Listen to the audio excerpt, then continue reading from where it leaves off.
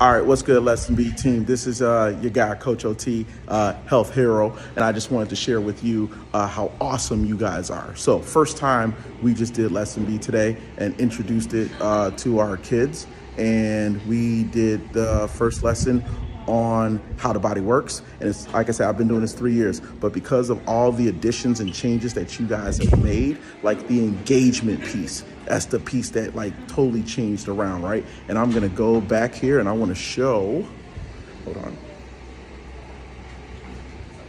That's the engagement piece that we did in class today. Like multiple of 100% like completed it.